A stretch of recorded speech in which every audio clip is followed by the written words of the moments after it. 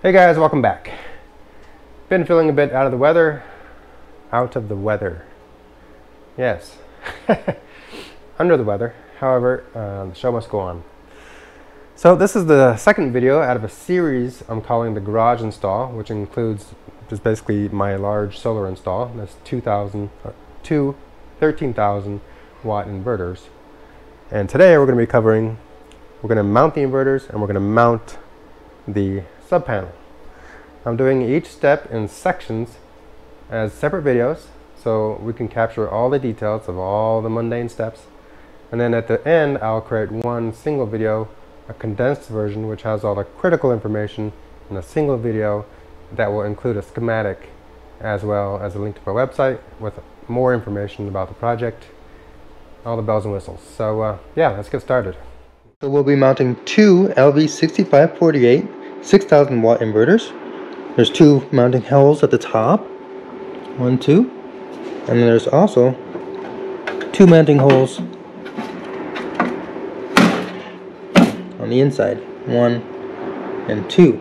So the mounting holes here are designed for M6 bolts, but they don't make M6 strut nuts. They only make quarter inch strut nuts, which is slightly larger than M6. So we're gonna have to drill these holes out. Just when you do this, if you are gonna drill yours out, make sure not to leave any metal shavings inside the box.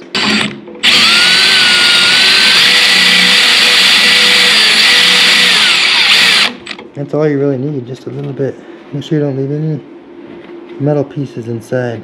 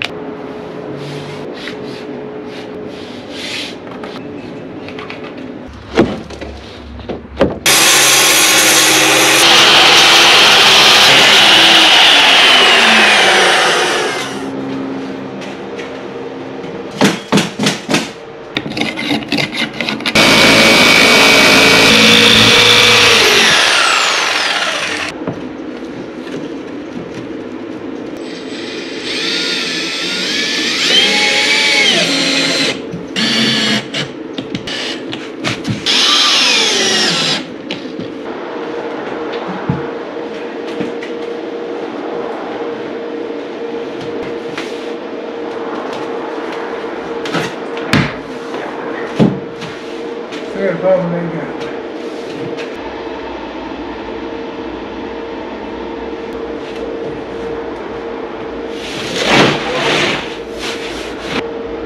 trying to do it by myself, DIY. I might need someone to help me hold this up. Okay, I actually got it to stay with the wedge barely staying there. So I swear, I did it myself.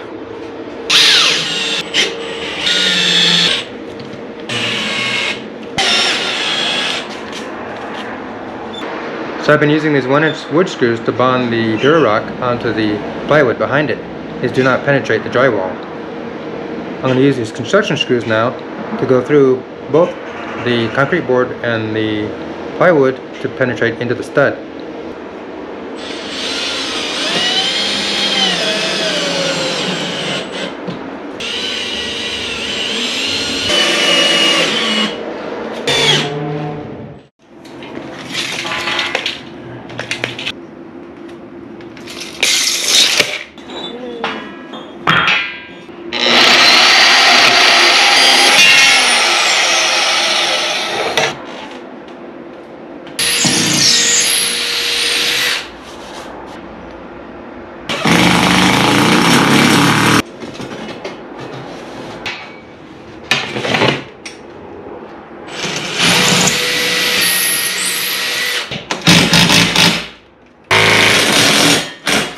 Now for the final test.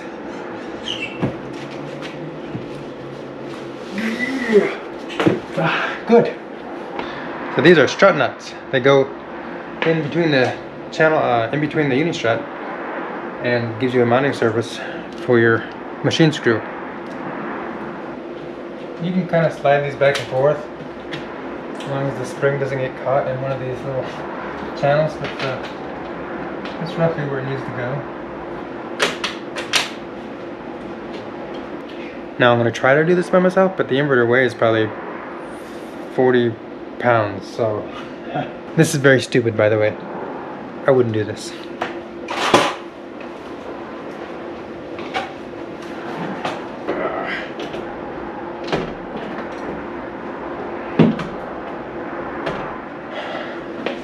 That's not happening.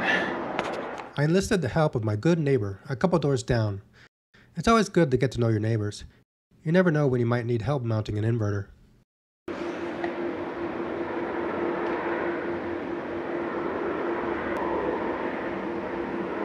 It's really easy when you have two people.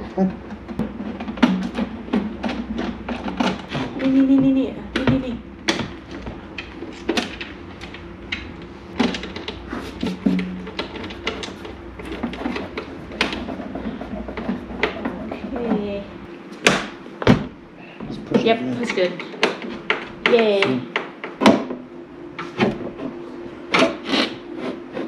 This one. Oh.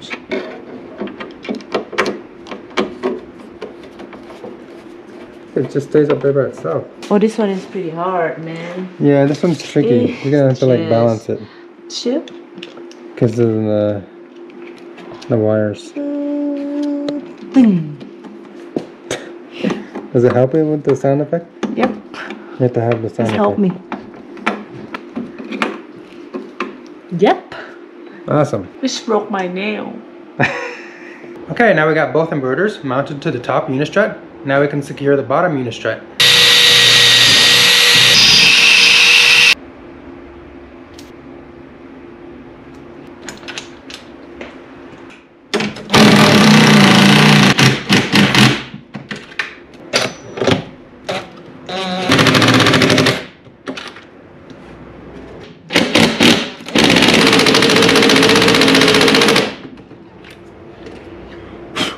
Right, the inverters are secure. Now it's time to mount the panel.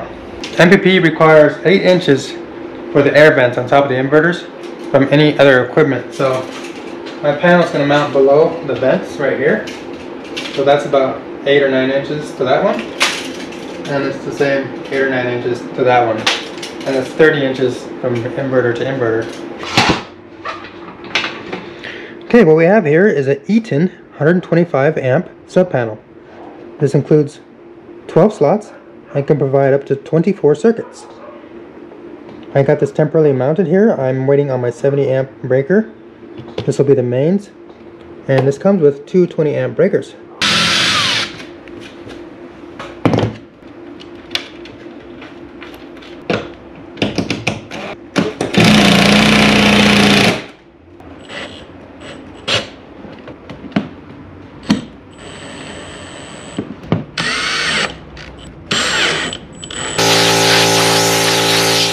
I like it.